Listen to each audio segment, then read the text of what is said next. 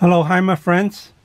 In this video, we're going to show you how to make a heavy-duty curtain rod using a 3 quarter inch diameter aluminum tubes.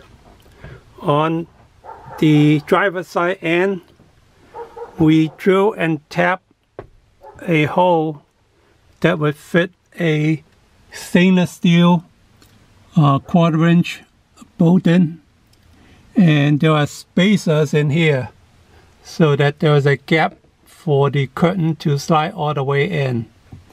On in the passenger side we made a simulated 3D printed blocks to snap the rod in and this is made by using a wood screw I'm sorry a wooden drill bit drilling two overlapping hole and then uh, use a chisel to chisel out the uh, materials between the overlap so we could have a snap fit.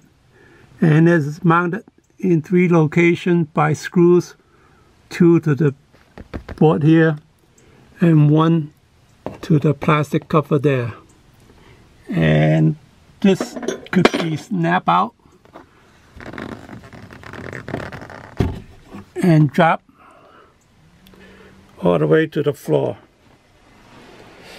And once we insert the curtain we can snap it back in.